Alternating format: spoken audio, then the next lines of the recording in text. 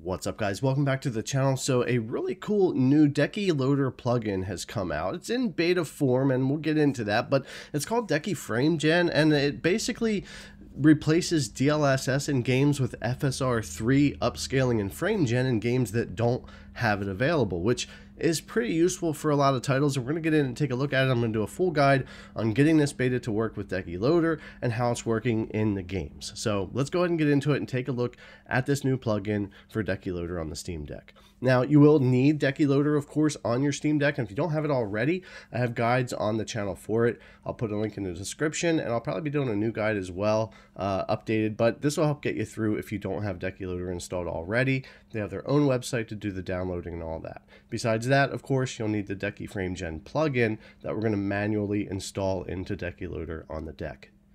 So on my Steam Deck, I already have Decky Loader installed. I will quickly show you, but yeah, it's already installed. I don't have any plugins on here right now because I've recently had a factory restore, but I've gotten that ready to go recently. Um, so yeah, it'll be ready to go here. But there's no Decky Frame Gen in the official store yet, as I mentioned, but it should be coming there soon enough. So this is a beta version that we are downloading and installing into Decky manually, and I'm going to show you how to do that here.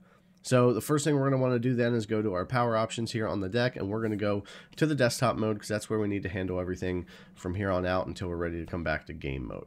So on desktop mode, the first thing, again, if you don't have Decky Loader already, you want to make sure you have that installed first. You can go to your browser, search for uh, Decky Loader. They have their official website that I mentioned earlier go there, download the uh, file here right from their web page. This is the only difference from the guide that I already have up. I believe I use the GitHub download, but it's essentially the same thing.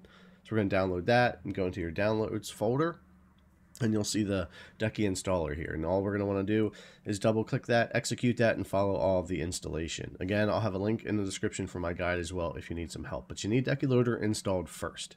Once you have Decky Loader installed, or if you already have it installed, we're going to go ahead and get the plugin that we need for this. So we're going to go get the Decky Frame Gen plugin right from GitHub here. I'm going to have a link to this in the description as well. We want to go over to where the releases are at. We're going to grab the newest release, which at time of making this video uh, just happened yesterday. So we're going to uh, come down here and grab deckyframegen.zip right here. We're just going to click on that to download it. All right, you're going to see the download happening up here. Once that's done, we can minimize or close out our browser, and then we're going to come down here to our file uh, folder, our Dolphin browser, and we're going to go into our downloads folder. And you can see the deckyframegen.zip that we have uh, downloaded here from the uh, GitHub page. So I'm going to go ahead and right click on this and extract it right here. I just like to already have the file ready to go. So there we go. So now I've got that extracted. What we're going to want is the Decky Frame Gen folder right here. And we're going to want to put that into our plugins folder so we can go manually install that over in game mode. So let's go to home. And this is going to be in our homebrew folder and it's going to be in the plugins folder inside of that that we want to put that folder. But we do need to change some properties. So right click, go to properties on Homebrew, go to permissions, and then here you're going to want to change all these to can view and modify content.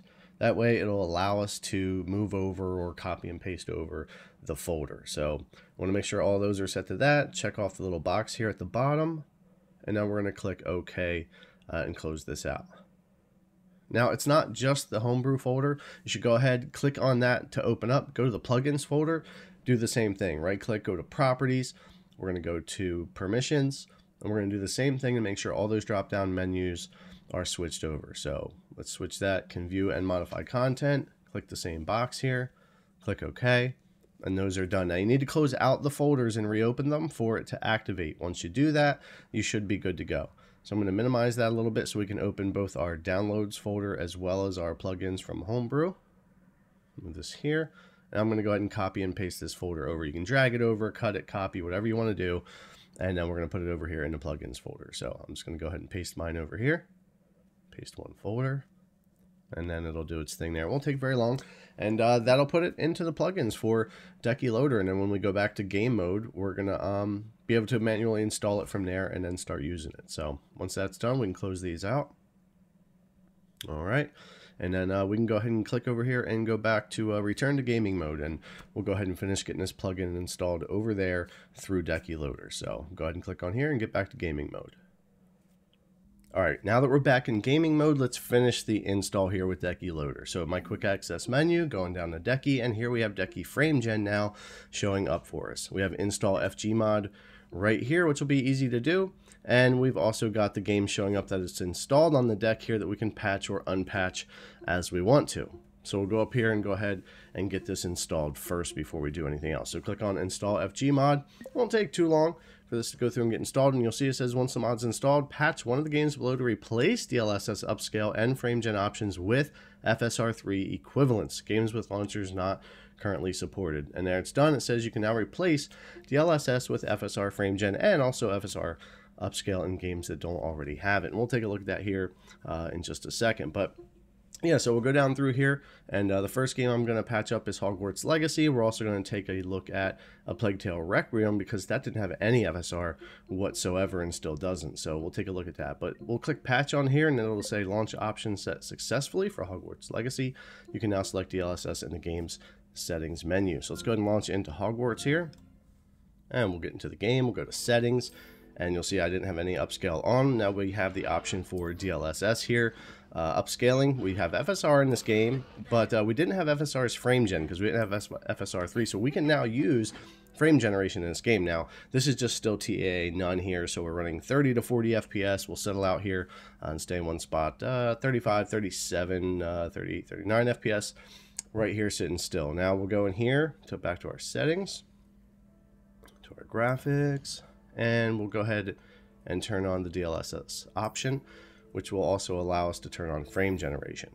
I'm going to leave that on auto for now, but we'll go ahead and go back here. And now you'll see instead of that 39 to 40, we're going to be up to 68 fluctuate, fluctuating in the 50s and 60s now, all the way up to 70 something there. So, a big difference for something like Hogwarts Legacy here to be able to access FSR3 frame generation, replacing that DLSS option, because that's definitely a feature I've wanted for this game is FSR's frame gen. Now, it is not perfect, it could use a little bit of work, and it can be a little janky, not the smoothest thing, but what a lot of potential this brings to games like this. Now I also want to take a look at A Plague Tale Requiem because this is another big deal. This game had zero FSR whatsoever, not upscaling or frame gen when it launched, and it often runs in the 20s. It's very hard to run this game, especially on the Steam Deck. But with this Decky plugin, we can actually go into settings now and see the DLSS options, not just the older resolution optimizer that we had. So I can now go through and turn that on, use it just like I would FSR, so that would be FSR 3. We don't have frame gen on just yet, but we went from 24 to 28, 29 FPS. We gained 5 FPS just by turning on DLSS, which is replaced with FSR there. Go ahead and turn that to performance. We can get up to 31, 32. And I know FSR's performance mode looks pretty rough, but I'm just saying, potential-wise, what it can do for a game like this is pretty big deal when it didn't have any FSR, and you're on an AMD product here like the Steam Deck. This is really cool for Decky Loader uh, here on this. So yeah, we'll leave this on performance. We'll go back into settings, and we can go ahead and turn on the uh, frame gen for this as well. So let's go in here and turn on frame generation. We'll go back here. And now in this game where we were 24 FPS a minute ago, we've upscaled it and frame gen it, and we're at about 56, 55 FPS. Isn't that really cool for a game like this that, that had no support like that before, at least not this easy? And when this plugin's out of beta and hopefully working even better and in the store easier for people to access and install, this is really nice. This has a lot of potential for the Steam Deck for any older title that doesn't have FSR 3 or FSR 3.1 with frame generation and only has DLSS options or has FSR upscale but no frame gen option while it has DLSS as the option. So really useful there and I think there's a pretty cool plugin with a lot of potential. I'll definitely be keeping an eye on it going into the future and covering it more, especially when it hits the store officially. So hopefully you guys found this guide useful. As always, thanks a lot for coming to check it out and watching. I really appreciate it, and I'll see you in the next one.